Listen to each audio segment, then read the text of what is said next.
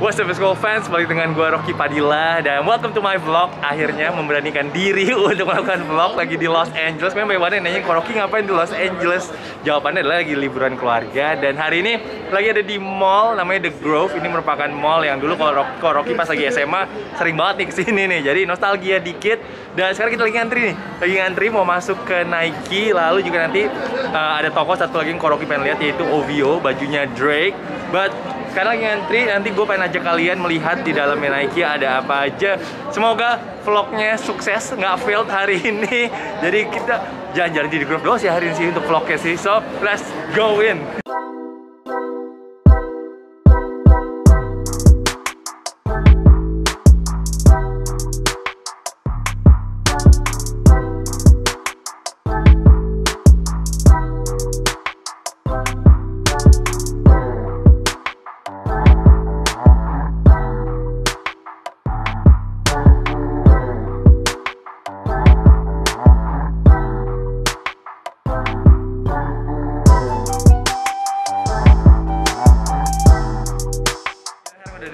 Nike dan jelas yang pertama kita lihat adalah gambar LeBron James. Ini adalah brand ambassador utama kali ya buat Nike. Dan sekarang kita lihat nih sectionnya bagus banget sih displaynya khusus buat LeBron doang. Ini untuk fans Lakers nih pasti seneng banget kalau ada di sini dan ini ada sepatu barunya LeBron, LeBron 18 dan situ ada merchandise. Nah, merchandise yang penting nih.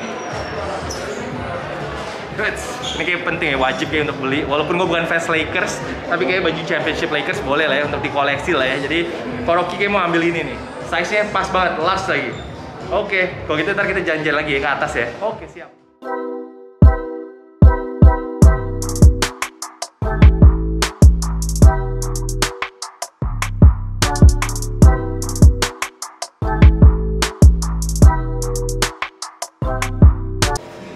Dan sekarang kita udah ada di lantai dua nih guys dan jelas harus lihat nih City Editionnya Los Angeles Clippers gua. Tapi kalau dilihat nih kayak cuttingnya sekarang untuk swingman yang baru ini agak kecil sih ya. Tapi sayangnya namanya Kawhi sih. Kalau namanya Lou Williams gue mungkin akan beli. Tapi kalau kalian bisa lihat ini adalah section untuk NBA. Uh, ada Lakers juga dan ini cuma tim-tim Los Angeles juga tapi ternyata ya nggak ada tim lain di sini yang dijual.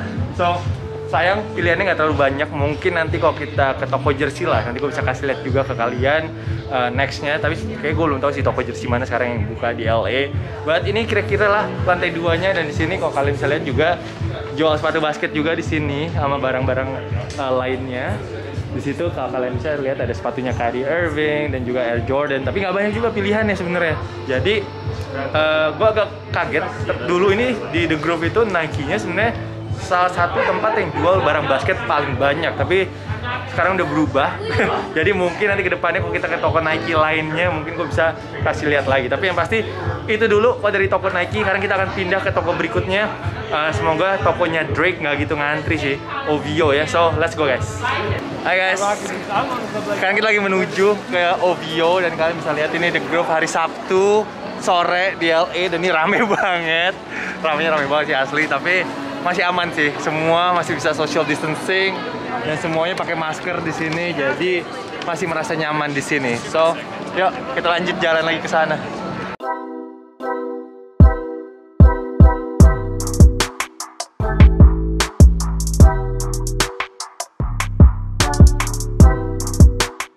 Sekarang kita udah ada di depan tokonya Drake. Ini adalah salah satu brand yang gue juga suka banget yaitu OVO di sini siapa nih kira-kira yang rapper favoritnya? Juga Drake jangan lupa nih untuk tulis di comment section di bawah. Jangan lagi ngantri uh, mungkin sebentar lagi kita baru bisa masuk. Gue nggak tahu tapi di dalam bisa video atau enggak gue nggak gitu yakin sih diperbolehkan. Jadi nanti mungkin kalau nggak boleh gue akan kasih lihat kalian dengan foto-foto aja ya. So yuk kita masuk dulu abis ini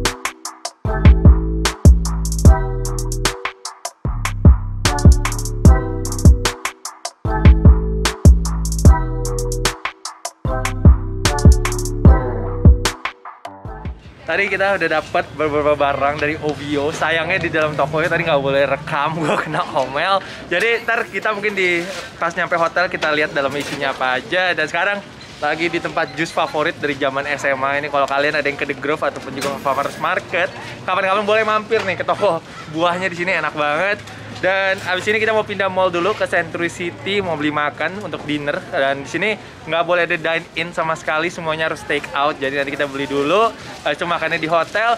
Nanti kita makan bareng kali ya, makan apa? Ntar kita lihat, makan bareng sambil lihat belanjaan hasil belanjaan hari ini. So ditunggu aja, karena kita akan pindah ke Century City. Halo guys, sekarang ini gue udah kembali lagi ke hotel gue Jadi tadi gue hari ini recapnya jalannya ke The Grove, uh, mall favorit gue Dan juga ke Century City. Tapi di Century City gue gak videoin karena kita cuma beli makanan aja Yaitu Panda Express untuk bawa pulang. Nah sekarang gue mau kasih lihat kalian apa aja yang tadi gue beli hari ini. Yang pertama adalah ini hadiah Natal dari istri.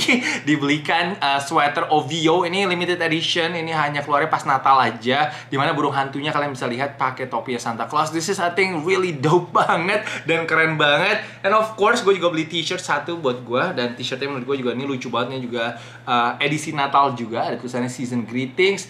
Uh, sama ini burung hantunya juga pakai topi Santa Claus. And of course di depannya ada logo juga kecil. Ini dari gue beli sekitar 48 US dollar ataupun mungkin sekitar 7 700 ribuan ya. And of course tadi kalian udah lihat di vlog gue yang terakhir gue beli ada yang gue beli juga tadi hari ini adalah t-shirt championshipnya Lakers locker room edition. Gue bukan fans Lakers tapi ini sebuah uh, ritual ataupun tradisi yang gue selalu lakukan. Jadi gue setiap tahunnya beli untuk championship t-shirt locker room edition siapa pun itu juga. Tahun lalu pun gue beli yang punya Toronto Raptors.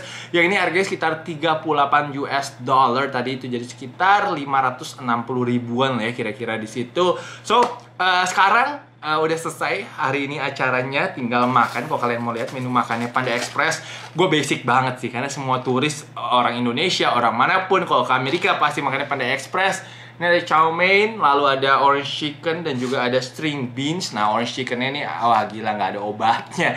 Orange chickennya paling enak lah pokoknya di dunia kok Panda Express. Um, gue yakin uh, baik dari kalian juga udah pernah nyobain Panda Express. This is the best thing dan juga harganya sangat terjangkau sekali. Oke okay itu ntar jadi vlog makanan nih karena gue jujur gue sering banget kalau di Indonesia itu gue nontonin vlog makanan. Vlognya kok nggak Mark Wins yaitu satu lagi Mark Chen ya kalau halah namanya. Strictly Dumpling itu dua menurut gue luar biasa banget. Mereka juga kerja keras sekali untuk bisa build channel mereka seperti itu. Dan gue sangat entertain melihat mereka makan keliling dunia.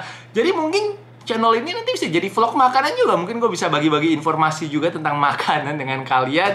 But overall I had fun. Semoga kalian juga enjoy dengan vlog kali ini. Uh, gue tahu ini adalah vlog yang sangat amatir sekali karena gue juga jarang banget ya uh, membuat vlog. Tadi juga pun ngetiknya berkali-kali karena gue nervous banget diliatin orang-orang. Tapi mungkin ke depannya bisa lebih terbiasa dan mungkin beberapa hari ke depan ini gue juga mau ngevlog lagi uh, kemungkinan gue pengen coba ke tokonya Supreme ataupun juga The Hundreds dan juga beberapa hype beast hype beast brand lainnya. Karena memang gue selalu uh, ngecek untuk lihat-lihat siapa tahu ada t-shirt ataupun juga sweater yang bagus. So nanti semoga aja bisa tapi yang pasti kalau ke Supreme sih sama The Hundreds di dalam toko pasti nggak boleh uh, video kayak tadi pas lagi kejadiannya di OVO paling gue bisa kasih nanti lihat foto-foto fotoin aja untuk kalian agar kalian bisa lihat juga suasananya. Dan gue nggak boleh lupa juga gue suka ke Rip and Deep Rip and Deep itu keren banget juga. So basketball fans ataupun siapa pun yang nonton thank you so much sudah mengikuti journey gue hari ini. Nanti kalau kalian punya masukan mau kira-kira mau klip seperti apa mau vlognya gayanya seperti apa kalian bisa tulis aja di comment section di bawah. So